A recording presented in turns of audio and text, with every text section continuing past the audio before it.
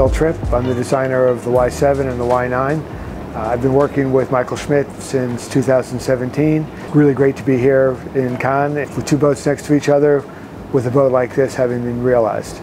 It's been a lot of work and a great journey and we're really happy with the results so far. More ahead. When Michael and I first started talking, we were both found we were really interested in making boats simpler to sail and more enjoyable. So we're really trying to make it experience driven. We really are of the feeling that sailboats get needlessly complicated and expensive at times, and we wanted to roll that back while still doing boats that when you looked at in the harbor and say, that's the boat I want to sail.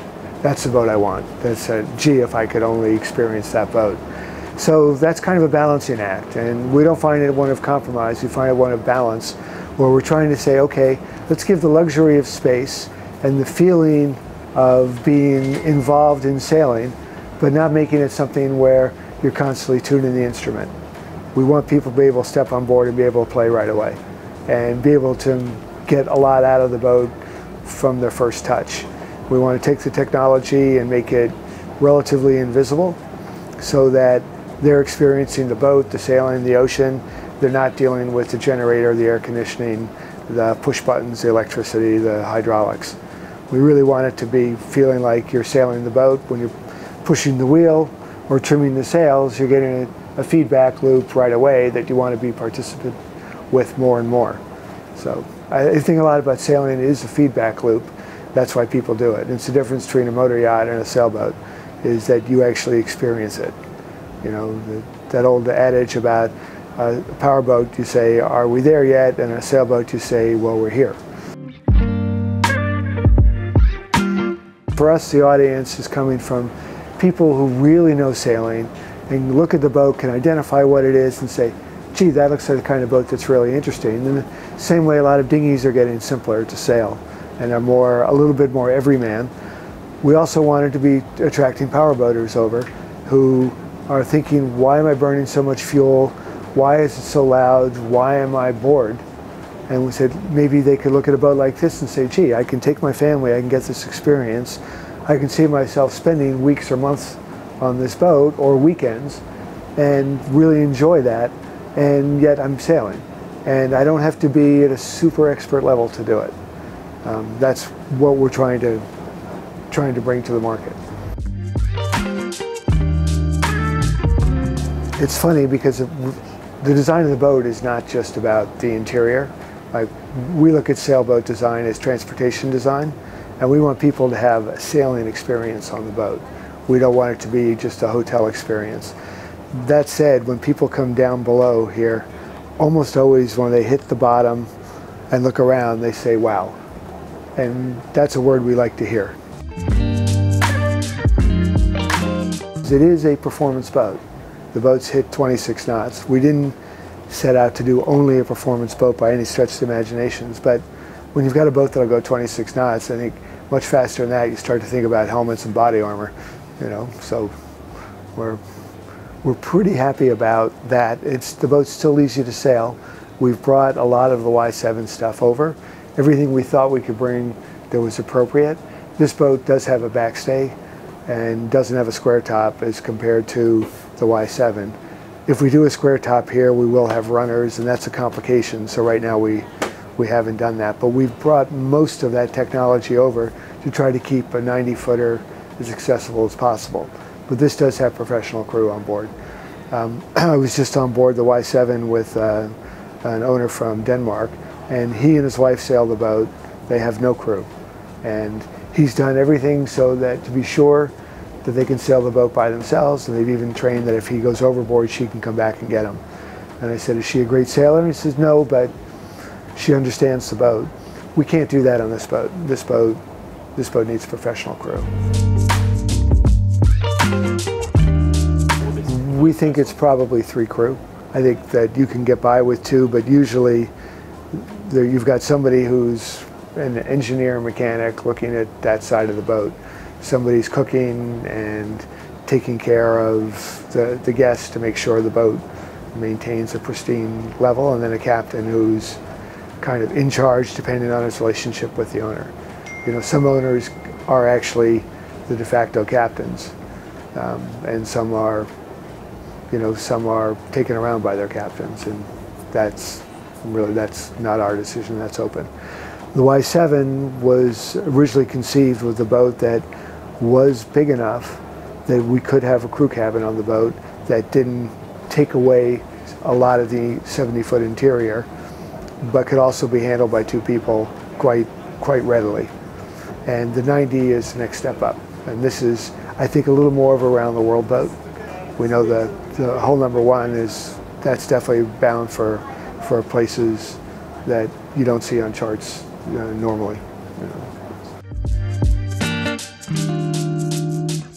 uh, probably getting the weights for us, getting the weights coordinated with the yard. It's pretty dry stuff, but trying to control the thousands of things that happen in this process.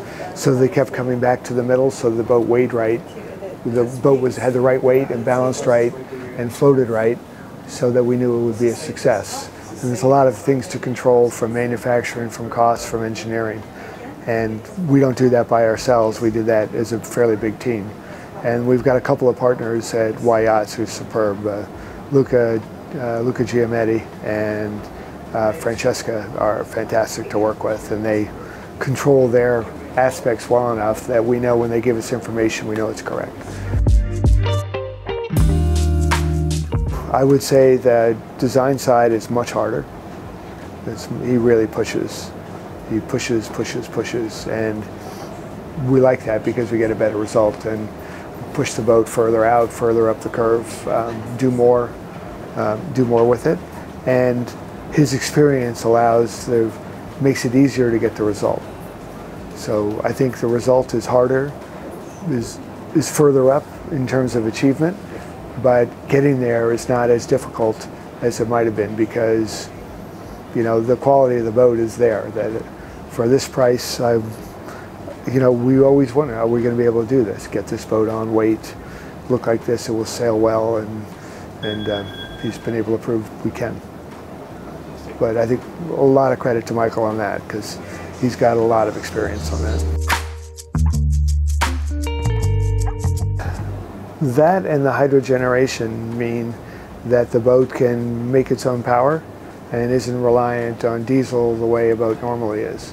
Um, to power the boat we need diesel, but for generating the hotel loads we can use the batteries and the solar panels can keep up with the hotel load and the boat when it's sailing can generate enough load to run all the hydraulics and the main sheets and the sailing systems and the air conditioning and the refrigeration so you can just turn the engine off and you can sail quietly for if you've got speed you don't you don't need to use the main engine at all and it also means when the boat's uh, at anchor you can go swimming and not have the generator on and the boat's still air conditioned and so that's all a virtuous loop that the whole world is you know, is seeking. Um, I had concerns about how much that propeller is going to slow the boat down, that it's constantly turning, the, the hydrogenerating uh, one, but obviously at high speed it works pretty well. So, um, you know, it's, that's a balance between how much do we want to pay for greening something, and I think we're willing to slow the boat down, you know, half a knot, three quarters of a knot to do that.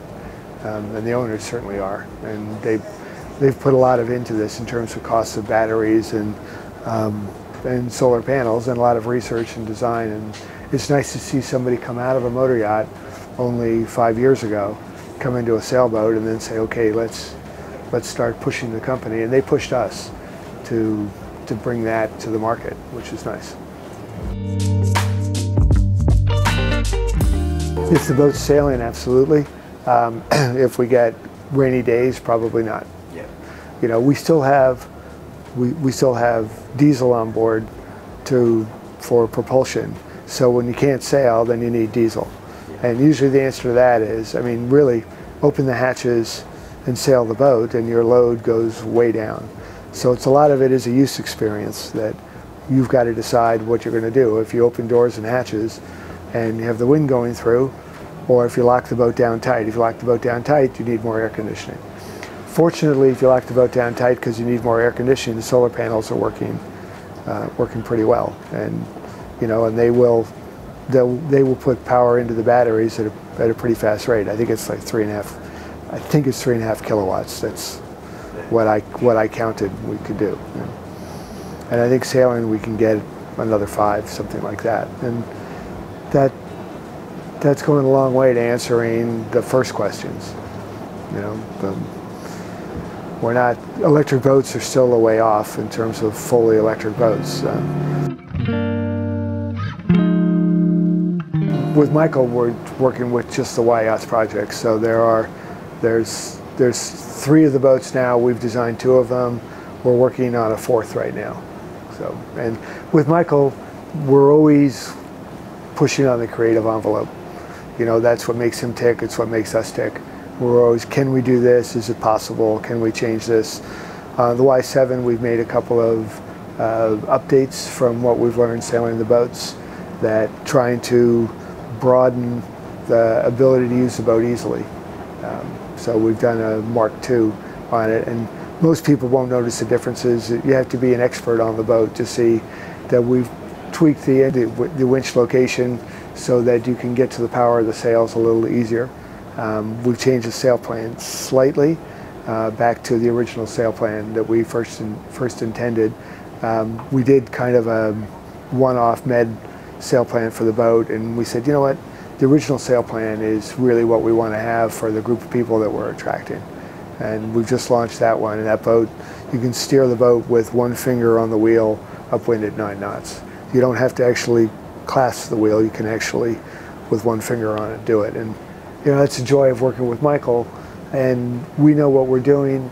Michael knows what he's doing. He puts together the right equipment, so the steering system really gives you that kind of feedback. And you know, when I came out of college and I got on a 65 footer in 20 knots, it was pretty hard to steer the boat. And now the boats are nicely balanced.